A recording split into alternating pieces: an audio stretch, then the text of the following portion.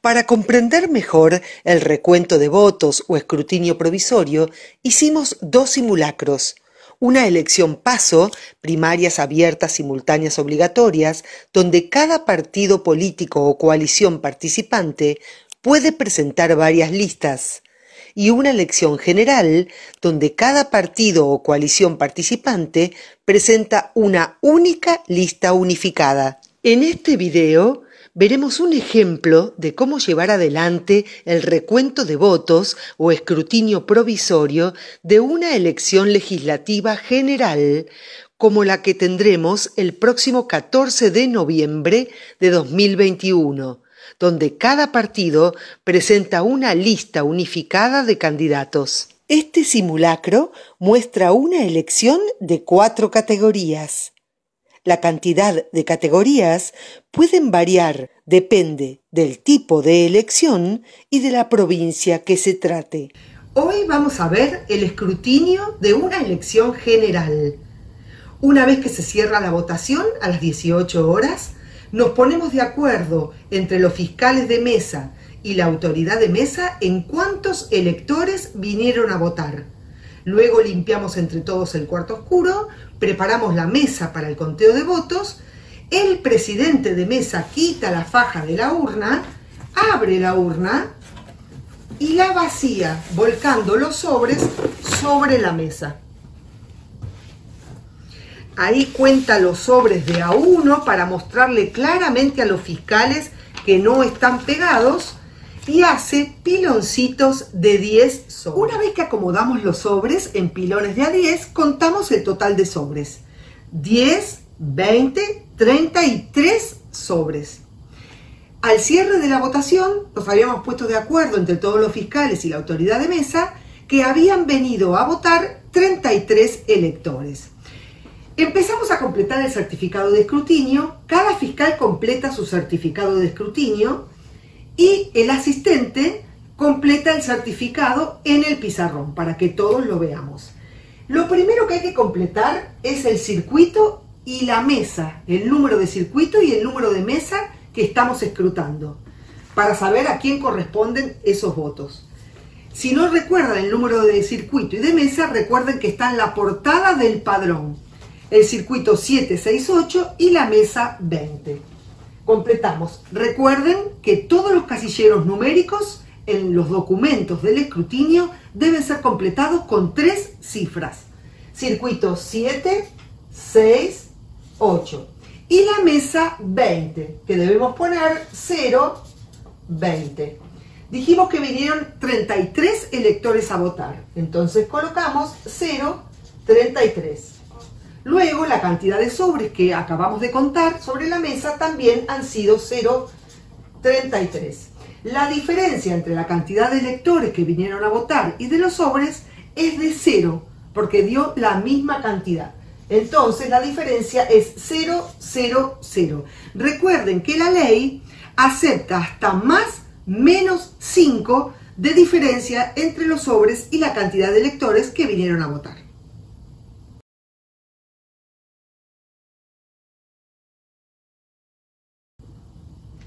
Vamos ahora a ver la apertura de sobres. Recuerden que el sobre debe abrirlo la autoridad de mesa para que se vea claramente a los fiscales que no queda nada dentro del sobre cuando saca la boleta. ¿Y cómo ubicamos las boletas en la mesa? Las enteras de cada partido junto con las enteras y las cortadas debajo de ese mismo partido. Por ejemplo acá Las cortadas de este partido van con las cortadas y las enteras van con las enteras. Y así ubicamos todas las boletas de todos los partidos. Los sobres vacíos van a la urna. Recuerden que para las elecciones legislativas votamos cuatro categorías. Siempre tengamos presente durante todo el recuento de votos que votamos cuatro categorías y contamos por categoría. Es importante recordar esto porque la ubicación de las boletas depende de esas categorías, porque el conteo se hace por categoría. Vamos a repasar ahora algunos casos especiales de voto válido. Si la autoridad de mesa abre un sobre donde se encuentran dos boletas exactamente iguales para todas las categorías, una de ellas se rompe y la otra es válida. O sea, si hay más de una boleta válida en el sobre, se cuenta una sola y el resto se rompe. Los sobres vacíos van a la urna. Otro caso es cuando dentro del, sobre hay una boleta que está cortada a la parte de abajo. Ese voto es válido porque basta con que el encabezado esté entero, donde uno pueda ver el partido, la categoría y la lista que se está votando. Entonces acá se entiende claramente que la lista de Juntos por el Cambio en la cuarta categoría es válido porque tiene el encabezado intacto. Y esta es cortada, se ubica con las cortadas de ese partido. Otro caso especial de voto válido es lo que se conoce en la ley como borratina.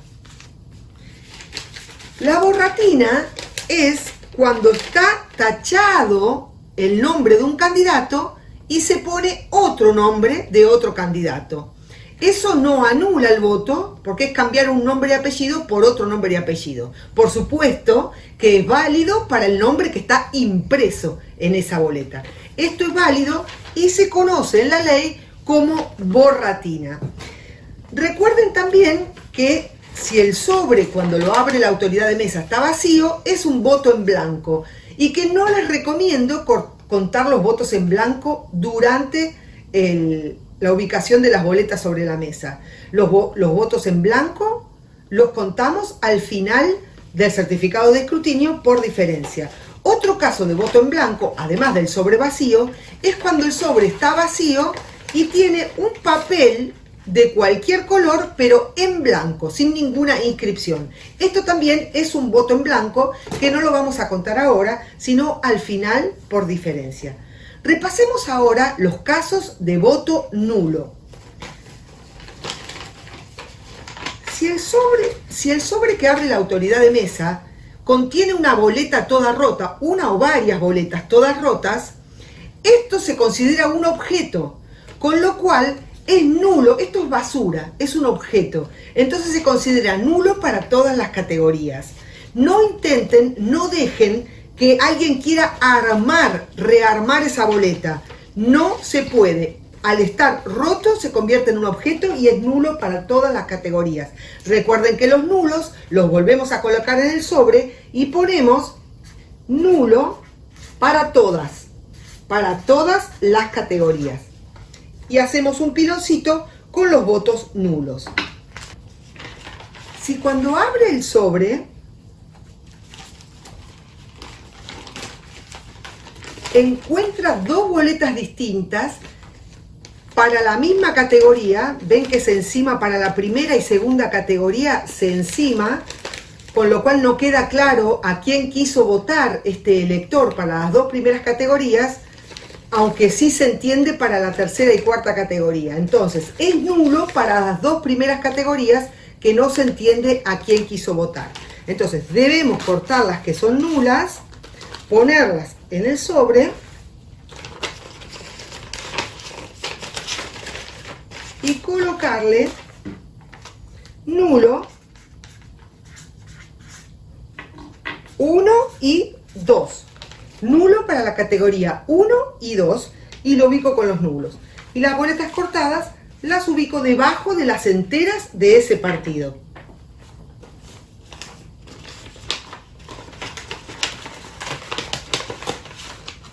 Si cuando abre el sobre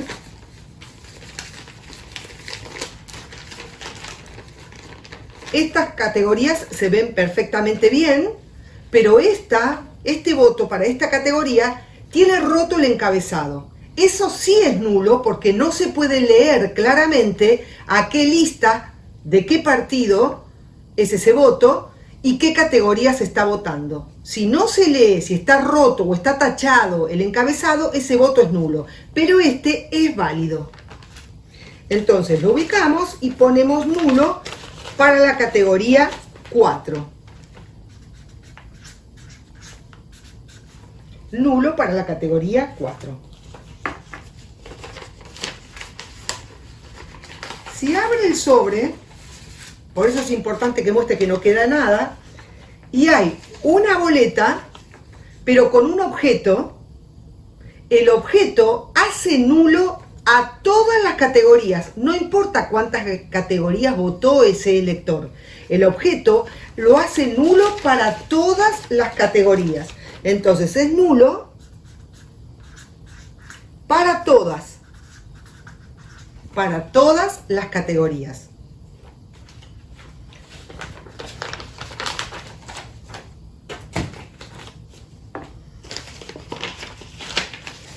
Si abre otro sobre y vemos que la boleta tiene una inscripción, tachaduras, dibujos sobre la boleta, cualquier inscripción que tenga, excepto la borratina que les mostré antes, lo hace nulo. Por supuesto que lo hace nulo para donde está escrito. La categoría 3 y 4, miren ustedes, no está afectada por esa inscripción. Entonces, es nulo para la 1 y 2, pero es válido para la 3 y 4 lo colocamos y ponemos nulo para la 1 y 2.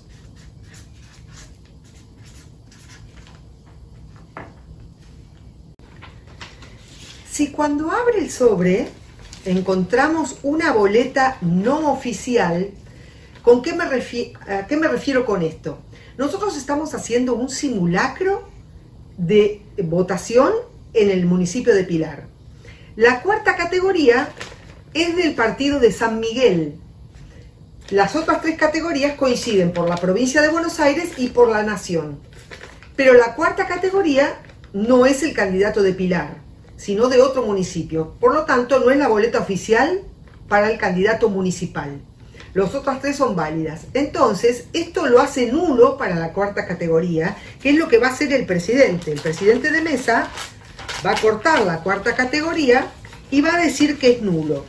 Yo le voy a pedir, lo otro es válido, yo le voy a pedir al, eh, a los fiscales de Juntos por el Cambio que recurran este voto. Lo propio harán los fiscales de los demás partidos si tienen un caso igual a este, con su boleta no oficial. ¿Por qué les voy a pedir que lo recurran? Porque es evidente que la intención de voto del elector está clarísima por qué partido quería votar. Pero evidentemente alguien que hizo fraude puso boletas falsas en el pilón de boletas en el cuarto oscuro. Y de buena fe, de buena fe, el elector puso la boleta de Juntos por el Cambio en el sobre, sin notar que la categoría 4 no era la del municipio. Entonces, el presidente la va a anular, pero nosotros vamos a pedir recurrirlo. ¿Por qué? porque vamos a argumentar, llenamos el formulario para recurrir el voto, que es cuando no nos ponemos de acuerdo con la calificación que dio la autoridad de mesa, vamos a decir que el presidente puso nula la cuarta categoría y nosotros la consideramos válida. ¿Por qué? Tenemos que argumentarlo. Tenemos que argumentar a la justicia que está clara la intención de voto del elector y que además es a todas luces un engaño a la buena fe del elector que tomó la boleta de Juntos por el Cambio sin percibir que era una boleta no oficial para ese municipio. Entonces va a poner el presidente de mesa recurrido para la categoría 4. Y luego la justicia analizará este voto y hacemos un pilón para los votos recurridos. También van a aparecer en la urna, si es que lo hubo, los votos de identidad impugnada, que fueron aquellos electores de los cuales dudamos de su identidad. Eh, sospechamos que había falseado su identidad. Entonces recuerdan que pusimos doble sobre. Al salir del cuarto oscuro, el sobre de votación lo pusimos dentro del sobre de identidad impugnada, le tomamos la huella digital y le hicimos firmar el sobre. Estos sobres de identidad impugnada, estos dobles sobres, de identidad impugnada no se pueden abrir en el momento del recuento de votos. Lo dejamos aparte porque lo hará la justicia, verá si ese elector era verdadero o no. Lo mismo sucede con los votos del comando electoral. Recuerden que algunos integrantes de la Fuerza de Seguridad están empadronados en esa escuela, tienen permiso para votar en la escuela que estamos fiscalizando, pero ese voto no lo podemos computar para esa mesa, sino que lo hará la justicia para el municipio donde vive o figura en su DNI el personal de la fuerza de seguridad. Estos dobles sobre también del comando electoral no lo podemos abrir a la hora del recuento de votos, por lo tanto, como lo hará la justicia, lo ponemos en un piloncito aparte. Y ya tenemos todo listo para hacer el recuento y anotar los cómputos en el certificado de escrutinio. Una vez que ya tenemos todos los votos acomodados sobre la mesa y calificados en válidos, nulos, eh, recurridos, identidad impugnada y comando electoral, comenzamos el conteo de votos para completar el certificado de escrutinio. Lo primero que debemos hacer es contar las boletas enteras de cada partido.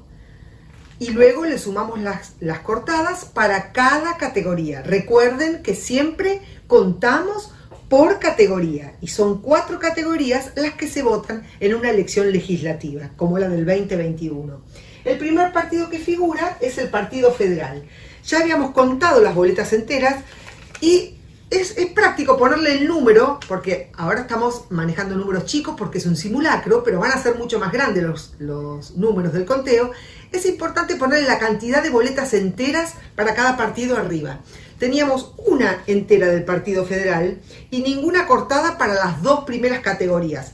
Por lo tanto, tenemos un voto, pero ponemos 0, 0, 1 para la primera categoría. Y lo mismo para la 2, categoría 2, 0, 0, 1. Pero como tenemos una entera, o sea, para todas las categorías de ese partido, tenemos una cortada que es para la categoría 3 y 4. Entonces tenemos una entera más una cortada, son dos para la categoría 3 y 4. Una vez que ya terminamos el Partido Federal, lo ponemos en la urna. Luego viene el Partido Humanista y tenemos una sola boleta que tiene dos categorías porque no presenta ese partido otras categorías. Por eso es que dice no usar para la 3 y 4. Entonces tenemos un solo voto para la categoría 1 y 2. 001, 001 y va a la urna. El frente de izquierda, contamos las boletas enteras y teníamos dos boletas enteras, o sea, dos votos para todas las categorías. Para la primera categoría no tenemos ninguna cortada, entonces son dos votos para la primera categoría y para la segunda, porque la cortada es para la 3 y 4. Entonces tenemos dos para las dos primeras categorías. 0, 0, 2, 0, 0, 2. Y para la tercera y cuarta tenemos dos de las enteras más una cortada, tenemos tres votos. 0, 0, 3, 0, 0, 3. Las boletas contadas van a la urna. Luego viene Juntos por el Cambio. Contamos las boletas enteras y tenemos seis boletas enteras. Como vamos a contar la primera categoría, tenemos seis para la primera, y dos más cortadas. Tenemos ocho para la primera categoría. Para la segunda categoría tenemos seis enteras y dos para la segunda categoría. O sea, ocho. También para la segunda categoría. Para la tercera categoría tenemos seis enteras y contamos uno, dos, 3, 6 y 3, 9 para la tercera categoría. Y para la cuarta categoría tenemos las 6 enteras, 9 con las cortadas y una más, 10 para la cuarta categoría. 0, 10. Las boletas contadas van a la urna. Y luego tenemos el frente de todos y tenemos las enteras, que son cuatro, ya las contamos, y son cuatro enteras. Cuatro para todas las categorías. Y para la primera no tenemos ninguna cortada. Entonces son cuatro para la primera categoría. Lo mismo sucede con la segunda categoría. No tengo boletas cortadas para la segunda categoría. Entonces también son cuatro. Para la tercera categoría tengo uno y dos. Más cuatro enteras tengo seis. Y lo mismo sucede con la cuarta categoría. Tengo dos más las cuatro enteras, seis. las boletas contadas van a la urna. Luego tengo consenso federal, que tengo con solo presenta dos categorías, la 3 y la 4. Y tengo un solo voto para ambas categorías. 001, 001. Las boletas contadas van a la urna. Y el partido vecinal, que presenta solo candidato para la categoría 4, tenemos un solo voto para la categoría 4. Ahora, una vez que completé los cómputos por categoría para cada partido político que se presenta a la elección, tenemos que hacer el total para cada categoría. Sumamos 1, 2 y 2, 4 y 8, 12 y 4, 16. 0, 16, el total para la primera categoría. Para la segunda, 1, 2, 4, 12 y 4, 16. 0, 16. Para la tercera categoría, 2 y 3, 5 y 9, 14 y 6, 20 y 1, 21. 0, 21. Para la cuarta categoría, 2, 5, 15, 21, 22, 23. 23 votos para la cuarta categoría. Luego, los votos nulos. Y teníamos el piloncito de los votos nulos. Vamos a contar para la primera categoría. Tenemos 1, 2, este no porque es para la categoría 4, 3 porque era para todas y 4 porque era para todas. 4 votos nulos para la primera categoría. Lo mismo sucede con la 2. Para todas, para todas, 1 y 2 cuenta, 1 y 2 cuenta. Son 4 nulos para la categoría 2. Para la categoría 3, solo cuentan la de todas, o sea, dos votos para la categoría 3, nulos. Y para la categoría 4, cuentan las de todas, dos, y nulo para la 4, 3. Los votos nulos van a la urna. Luego tenemos los votos recurridos, los que no nos pusimos de acuerdo con la autoridad de mesa. Y tenemos un solo voto recurrido para la categoría 4. Entonces, ponemos 0 para la categoría 1, 0, 0, 0 para la categoría 2, 0, 0, 0 para la categoría 3 y 0, 0, 1 para la categoría 4. Los votos recurridos los votos recurridos, recuerden que van al bolsín. Es el sobre transparente donde ponemos todo lo que tiene que rever la justicia electoral. Luego vienen los votos de identidad impugnada. Los votos de identidad impugnada se cuentan para todas las categorías porque no los podemos abrir. Y teníamos dos votos de identidad impugnada, son dos votos para todas las categorías. 002, 002, 002, 002. Los votos de identidad impugnada, como lo va a tener que resolver la justicia, también van al bolsillo. Y luego vienen los votos del comando electoral. Como tampoco los podemos abrir, se computan para todas las categorías. Tenemos un solo voto del comando electoral para todas las categorías. 001, 001, 001, y lo mismo para la cuarta categoría. Y ahora los votos en blanco. Los del comando electoral, por supuesto, como lo resuelve la justicia, también van al bolsillo. Ahora vamos a contar los votos en blanco, por diferencia. Sumamos los totales, 16 más 4, 20, 22, 23. Y se resta a la cantidad de sobres, que eran 33. Entonces, 23 33 menos 23 son 10 votos en blanco para la primera categoría. Y contamos los totales de la segunda categoría. 16 más 4, 20, 22, 23. 33, que es la cantidad de sobres, menos 23, también me da 10 votos en blanco para la segunda categoría. La tercera categoría, 21, 23, 25, 26. 33 menos 26 son 7 votos en blanco para la tercera categoría. Y para la cuarta categoría sumamos los totales 23, 26, 27, 29, 30, 33 menos 30 son 3 votos en blanco para la cuarta categoría. Luego sumo todos los totales y obviamente me tiene que dar el mismo número que la cantidad de sobres que había en la urna. Sumamos 16, 20, 22, 23 y 10, 33. para la primera categoría y lo mismo debe suceder en las demás. 16, 20, 22, 23 y 10, 33. 0, 33. Para la cuarta, 21, 23, 25, 26 y 7, 33.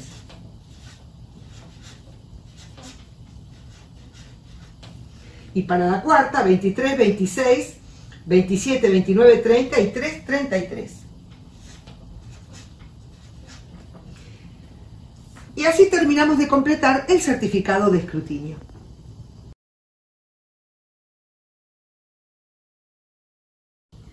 Una vez completado el certificado de escrutinio, el fiscal ya tiene completo su certificado, es la autoridad de mesa quien tiene que completar tres documentos, dos actas y un telegrama, con los mismos cómputos que llenamos entre todos en el certificado de escrutinio. Una de las actas, una vez que está completa por la autoridad de mesa, firmada por los fiscales presentes, y le sacamos la foto, va a la urna. El otro acta, del mismo modo, completo, firmado por la autoridad de mesa y los fiscales de mesa, va al bolsín. Que después el personal del correo lo va a cerrar con un cierre y le va a poner un candado. Y el telegrama, completado y firmado por la autoridad de mesa y los fiscales presentes, va en la mano el personal del correo. La urna se cierra una vez que incluimos el acta de escrutinio, los sobres vacíos y las boletas contadas y los votos nulos. Se le pone la faja, ahora sí tapando la ranura, y firmamos la autoridad y los fiscales presentes. Y le damos al personal del correo, la autoridad le deberá entregar la urna fajada, el telegrama en mano y el bolsín. Nuestro certificado de escrutinio tiene que estar completado con tres cifras, exactamente igual al que hicimos entre todos, pero no tiene ninguna validez si no está firmado debajo por la autoridad de mesa y el suplente si es que lo hubiera. Y tiene que estar firmado por nosotros, abajo al pie, y por al menos un fiscal de otro partido político que está presente nosotros vamos a tener como fiscales que firmarle el certificado de escrutinio a otros fiscales. No firmes nada que no tenga exactamente los mismos cómputos y todos los casilleros completados con tres cifras para que no pueda ser fraguado luego. Una vez que corroboraste que ese certificado del otro fiscal está exactamente igual al tuyo, le firmas tu firma, aclaración, DNI y el número de lista por el que fuiste fiscal. En el reverso pondrás tus datos personales, nombre y apellido, DNI y tu celular para entregar tu certificado de escrutinio completo al director técnico, al encargado de escuela, al que organizó todo tu equipo de fiscales o directamente lo vas a llevar al búnker de tu partido político.